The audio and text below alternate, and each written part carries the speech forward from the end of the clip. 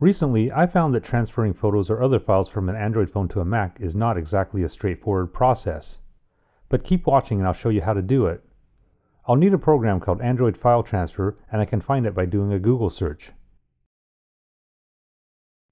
It comes from the official Android website and you can download it from there. After it's finished downloading, I'll launch the installer and then drag the Android icon to the Applications folder.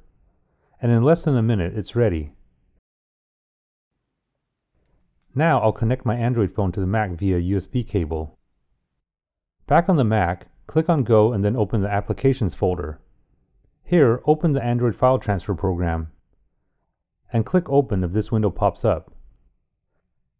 If the Android File Transfer program says it can't access device storage, then on my phone I'll need to launch Settings.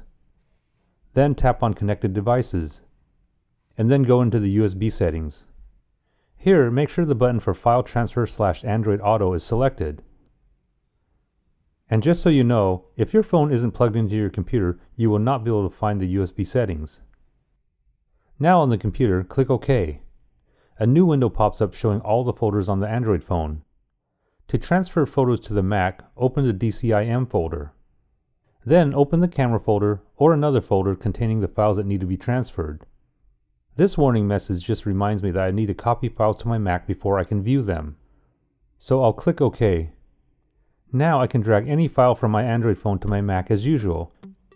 Just remember that any time you want to move files from the phone to the Mac, the Android file transfer program must be used. If this video was helpful, please give me a thumbs up and hit the subscribe button to stay up to date on all my weekly videos.